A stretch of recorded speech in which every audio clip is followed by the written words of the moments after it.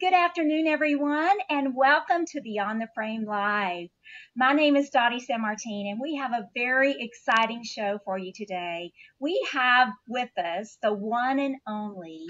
Beth Standlee, the owner and CEO of Trainertainment and author of People Buy from People How to Personally Connect in an Impersonal World. Hello, Beth. Hello, hello. I'm delighted to oh. be here, Dottie. You've done such a great job with Beyond the Frame. Well, thank you. I know most people don't need me to introduce you, but I would like the honor of doing so anyway. So all of our viewers today know exactly who Beth Standlee is, just in case they didn't know. Since 1995, Beth has worked on the front line of sales management, consulted facilities across the country, and sold capital equipment in the entertainment industry. Beth has boundless energy, and her focus has always been to create sales made easy through excellent customer service. She's a world renowned speaker with engagements at Bowl Expo, IAAPA, IAAPA Europe, IATP, the International Deal Show in, Dubai, and is a regular columnist for Replay Magazine as a party professor. Well, Beth, I am just so honored to have you uh, sharing the show with me today. It's just really, really nice to have you here. So, you know, I can only imagine when you were writing your book. Yes. That you absolutely had no idea the new meaning for the word impersonal. Mm-hmm. Oh, I didn't. I didn't. You know what? I, um, as a matter of fact, it's a, a, beautiful place to plug, right? There we go. Yes, absolutely.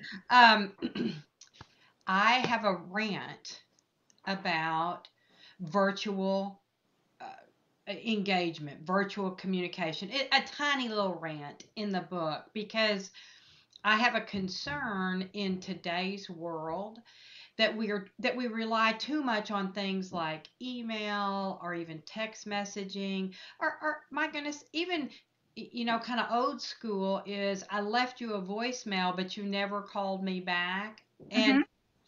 and the thing is it's so interesting to me that the virtual way we're together now yes. you're you're there in your part of texas and i'm here in my part of texas but it feels like we're in the same room and um, right. it's it's so interesting so i had to kind of walk back my rant just a little bit um, because i do think that this is a very viable way to connect and with that said i can hardly wait to hug your neck so i, I really want to be with you in person exactly and you know that that really changes first of all being in the bowling world we're very we're very personal. We're very yes. sociable. Uh, yes. Uh, in the bowling world. That's just the way we've always been. It's like a family. You hug people, you shake their hands, you give them high fives. And now, you know, we're dealing with masks oh. along those. And almost like you're avoiding, like yes. I, in the early part of this, like we're all just figuring out how to live through this, right? But but I kind of early on it felt like I was kind of avoiding people at the grocery store and turning away from them instead of turning to them. And I do, I'm like, there's going to be an intentional coming back together. And, I totally agree. Yeah, yeah. And this is part of it, like being together. Thank you so much for today. Yes. No, absolutely. You know, I, I feel like sometimes um, people almost hide behind those masks. And, oh. you know, it, that's kind of a pet peeve of mine is that, mm. like you said, you you almost duck your head. You've got this mask mm-hmm. on, you, you kind of duck your head. And, and that type behavior is something that we certainly want to discourage, you know, in the entertainment business. Our customers are coming to us to, to enjoy themselves and they're, you know, expecting that personal connection that we used to have with them. And now all of a sudden, you know, people are behind masks. So it, it's, it's really kind of change the dynamics of people coming into our center and what they see when they get Agreed. there. Agreed. So, uh, so let me ask you, what do we have to do to really offset this new norm when it comes to keeping the experience personal? Well, I, th- I think we have to be intentional about talking to people, and I think that, um, you know Our ability to provide service and to be with one another is exaggerated, or we need to shine a light on it. Like all those things we should have been doing before, we Mhm. really need to do them now. Simple things. When people walk into the door, we need to speak to them before they have to speak to us. Um, in bowling, I I mean, I don't even know if people, many people know I'm a real bowler, but lots of people don't know I'm a real bowler. Uh-huh. And um, so I just want to go on record to There say that I'm I'm a This real will forever remain in history now. that's it. I'm I'm a real bowler. I have a 298 to my name. My highest average I ever broke was a 205. So I'm a real real bowler. But the thing that the thing that I notice is, and it's from way back in my bowling days, is that uh, the the customer service folks there, there were a couple of boys that were twins and if you live in the dallas fort worth market you know brant and eric ryberg. And those boys were 16 when i started bowling. And they literally spoke to me every time i came in the building. Miss Standlee you, you know i mean i wound up bowling with them in later years and watch their babies be born and stuff like that. And so that's what's possible. That's what's available if if we'll teach our frontline people to really engage and do we need to engage from six feet away? Yeah probably. Do you have to engage when you have your mask on? Yes which means you have to speak up. Yes. but but you know what? You should have been speaking up and you should have been speaking clearly anyway. So some of that is just not different. It's just magnified what you got to do Yes, I, I completely agree. And you know, the expectations that we have of, of our employees now, they have a they have a new they Oh. have a new layer of responsibility, yeah uh, which is kind of interesting. Like you said, something as simple as now, you know, they have to be mindful of the volume that they're speaking Yes. because behind a mask you can't hear them. Uh, What yeah, a bad experience is when you know if your customer can't hear what you're saying. Right. So it, it really has, you know, made us be mindful. We need to make sure that we're equipping those frontline workers with the right expectations, you know. mhm. And, and speaking of that, I, I really feel uh, that, you know, we were talking a little bit before we went live about the customer and their expectations and how that has really changed. Um, I think it's really important for us to recognize how this pandemic has changed our Mhm. customers. John, I, I saw I saw John Tapper do an interview on the AAMA event a couple of weeks ago, and he said that people had to have an emotional reward for making a decision to come to your place. And I Oh, thought, I like that. wow, wow, that is such a big deal. And and again, I want to make the point that I think that's that was always true, hmm and today it's more true than ever. Fewer people right now. The facts are maybe there's 30% of the people that that are cool and they don't care. They'll just go anywhere.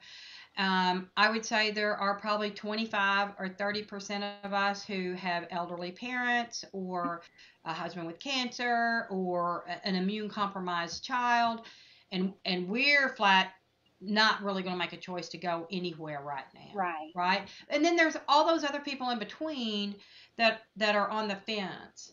And Mhm. and i don't think we can survive with the 30% who are just like wheels off i'm going to do whatever i want to do. I don't think we can survive with that. And so somehow we've got to create emotionally rewarding experiences that when when those people in the middle and certainly if anybody like me has decided to come on out it's got to be worth it yeah. and, and you know what? Isn't that a great thing to get out of this? Because if we really get this now, can you imagine how our businesses are going to be when things get a little more open? That's right. Well, you know, and and uh, I like to try to find the silver lining, and I think that's one of the silver linings in this.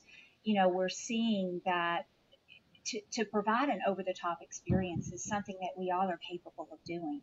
But Yeah. to understand, you know, people are coming into our centers a little bit hesitant. They've not quite, you know, decided whether it's okay, not Yep. okay. They're, but even more than that, they are strapped for cash. They, Yes. you know, they they've lost their jobs or they've reduced their hours, and money is very hard to come by. And they're finally getting out. They're finally gonna, you know, they've got fifty dollars left this month in their budget, and they're finally gonna. You're gonna get it, yeah. And you're gonna Yeah. get it, you Yeah. know. But I do have some expectations. Please Yeah. make it worth my while. Yeah. So I, I think that you are so right. When we come out of this, and we talked about this a little bit, I am I am so convinced, and it's going to take a lot to convince me otherwise, but I'm so convinced that going through this pandemic and when we come out as an industry, we are going to eventually be stronger than we were, ever Oh, were before because we've 100%. looked at everything. We've looked at every aspect of our business. Uh, like you said, we've shined a spotlight on it and we found where we can do things better, yes, learned how to do those things better. right. To me, that um, that sets the groundwork for us for a very, uh, very strong future. I Um, agree, Dottie. I agree. I think you're just a hundred percent right. So I'm going to put you on the spot here. You know, I think one of the other things that's been really uh, good and positive is to see how much creativity uh, people are exhibiting. It's people that before were hesitant to do things. They maybe had ideas, but they were just never made that step to do some of these things that they're doing now. And I'm absolutely thrilled that people are taking the, the chance and doing things. What is the most creative thing that you have seen during this pandemic?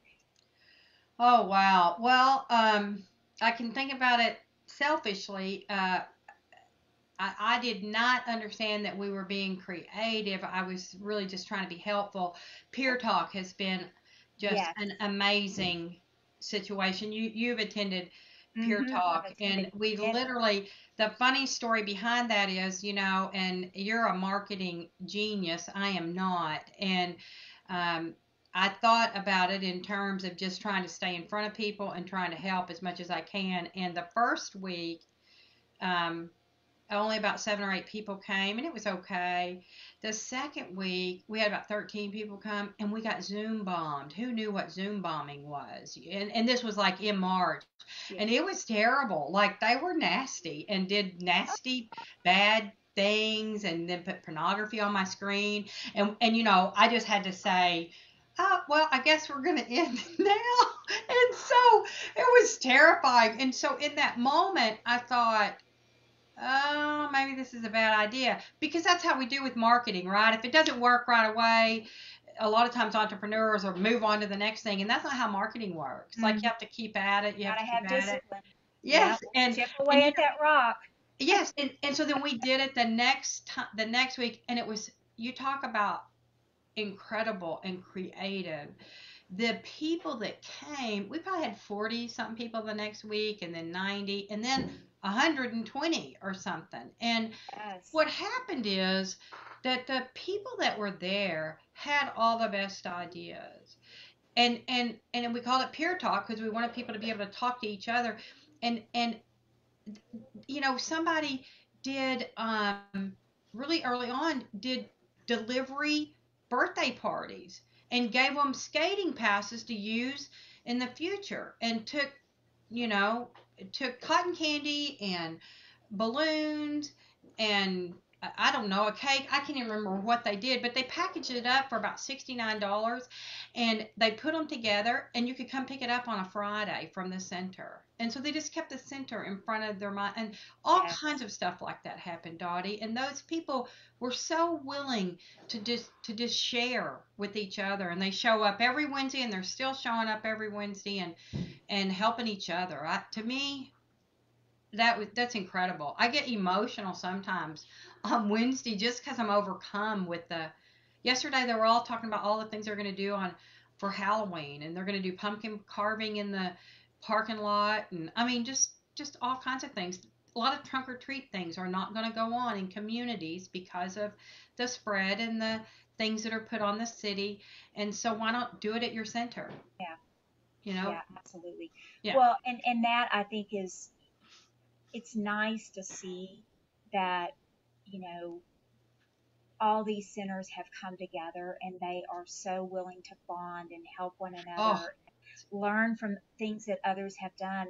Uh, again, I think that that it's it's really refreshing to see that. It, you know, in many areas, you know, you have competitors all around you, but to see those people then bond together and really, you know, we've said all along we're in this together. Well, our Our industry. have shown yeah, that. yeah.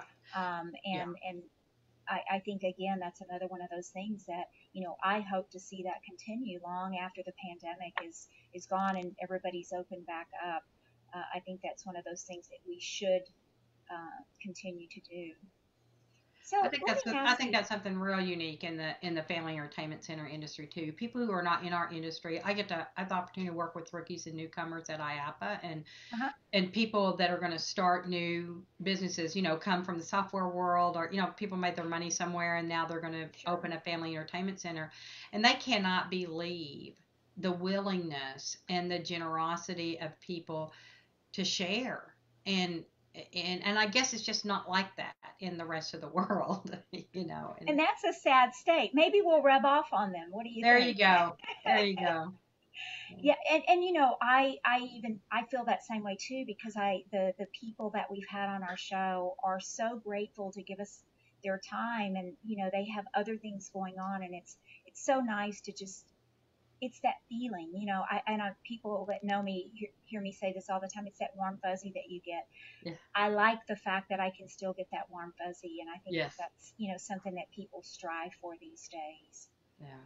um, so let me ask you this: the sales process. I know you know you have a, a book that has just spelled everything out, and it's just we actually are going to be giving away two of those, so Yep. we'll be doing that after the fact. Um, but may have an opportunity a little bit later in the show also to, to get another chance at winning an autographed copy. Beth was so yes. gracious to agree to right here, right both of here. So uh, you want to make sure that you continue listening. But what? How do you think the new norm looks from a sales standpoint? Do you think it's going to change that process? I don't I don't think it changes the process, Dottie. I think that um, you know we're real focused with group sales and with birthday sales, um, and then certainly sales in general. But I don't think that the sales process changes. You know, very simply, um, just laid out. You want to prospect, so you want to find your ideal target market and really, really focus and go after those folks. And I think that that's one place that it may be more difficult right now because while our ideal client, uh, uh, you know, the holidays are coming and so many people have such big, big group revenue in the fourth quarter. And I think it's going to be more difficult. I'm not sure that those big groups are even going to be a thing. So you may have to have a whole lot of small groups. I think you've got companies who aren't even back to work yet, so they're certainly not going to let them have an off-site event and go somewhere. So, so from a prospecting point of view, you're probably going to have to do a whole lot more prospecting than you ever did before. And I think that'll build your muscle because, quite frankly, I don't think we ever did enough prospecting to begin with. I think we relied on people just you know open the doors and they will come so that could really that could really be one of those silver lining great outcomes Yes. connecting people like to buy from their friends and if you don't invest in the time that it takes to connect with somebody and it's different for other i mean everybody's different you and i connect very well we have very similar personality styles so we love to chat and tell stories and and so it's easy for me and you but somebody who's a little more um, reserved needs lots of facts i'm gonna have to connect with them on a different way Yeah. and I have to be more like them. And so that's a real strength if you can practice connecting based on where people are. And so they're in a funny spot right now. So you may mm-hmm. have to listen for a bit about how they're doing and, and those kinds of things. The next thing is to qualify. And I, I don't think that that's ever going to go out of style. I don't think it's out of fashion. People buy stuff because of what they want and need, not because of what you sell. And so Yes. you better qualify them and find out what they need and then sell them that. Give them a great presentation, which is the, the fourth step. And then finally, you still got to close. You got to ask people to do something, even in marketing, right? That's a beautiful strategy for Mhm. marketing. If we send out a great email campaign, but don't ask people No to take any action, yeah, well, we wasted our time. That's So, right. so very long answer. No, I don't think anything changes about the sales process because you know what? I don't think that's just a sales process. um, when I train and teach and coach, I go through the same steps. No audience is going to listen to me if I don't try to first connect and qualify with them first. There's no reason to. Uh, it's a relationship process Exactly. in my in, in my perspective. So And and you know when you look at it that eh, through those eyes, when you look at it as building relationships, it just makes it so much easier, and especially for someone that that, that they don't consider themselves a salesman. yes, Everybody knows how to make a relationship. Everybody yes, can connect yes. on a personal basis, and for me, that takes some of that fear, you know, out of selling yeah, you know, uh, and especially if you have, you know, someone in that position that's that's fairly new to bowling, and it can be kind of scary. yeah. Want me to sell? Oh man, I don't know, but everybody can understand and relate to making it a relationship, and, and I think that's what's so fantastic about the angle that you take um, for Thank selling. you, thank you. I, I may I may I um, share that uh, this quarter the Audible version of the book is going to be ready. I, I'm saying that I'm going out on a limb. I finished my part of the reading. Um, was coached that I should not do it, but I thought, you know, everybody that's going to buy this book is going to have heard me, and so Yes. then I have a distinctive sound. Wouldn't it be weird if somebody It else would be, yes, So it would be. So- Well, I'm glad you did do it yourself. did. I finished up my part of it, and it's at the engineer, and they're doing all their thing with it. Um, but I finished my part in the studio uh, Tuesday. Uh, my daughter is actually going to read the forward and the about the author, so we, we do have that left to do tomorrow. But the engineers promised that we think it may be ready for prime time by the end of October. So certainly by the fourth quarter, we'll have the Audible book out. So I'm How excited. exciting. Well, I can't wait. I have the physical, so now to, Yeah. to you know, that's just awesome. Well, you have been busy. Yes, yes, No, no uh, rest for Beth, that's for No. sure. It's So- overrated. Oh, it rest is overrated. Yeah, there's days I feel that way. Yeah. Well, you know, one of the things that I had mentioned was that we're gonna we're gonna do um, another giveaway. So I'm gonna ask you a question first, um, and then we will uh, will let the viewers know how they can actually win. So Oh, what what would you say is the most valuable lesson that you've learned from the pandemic? Mm. Well, gosh. I know there's so It- many that sometimes it's it- hard to, to, pinpoint. I, I, would say that, that it's super important to make the hard decisions sooner than later. Re, re, and, and I, from a leadership perspective, I think it's it's been extremely helpful. I, I know how important it is to stay connected and to communicate with the team, and uh, and so that's been important. And I would say the internal team and the external team, you know, we've worked real hard to stay in touch with our customers. That communication matters, even when everything is disconnected, even when everything is shut down. It sh- it doesn't mean that we should shut it off. Yeah. I, I don't intend to be I don't intend to be out of business, and so nothing is shut off. We we didn't we didn't we did not have to shut down. We didn't get to do some of the things that you do when you're fully open, Yeah. uh, but we did we did not shut everything off. Um, I think that's I think that's been important, A- and uh, I need to I need to follow my food plan better. Drink Well, let me tell you, that's hard when when you're not traveling and you're you're working remotely. I mean, there's a lot more variables in that now. So But you know, and I, I th- and this is no joke. I, I've often thought that my challenge with um with my with my weight was because of all the travel. Hmm, that doesn't seem to be true.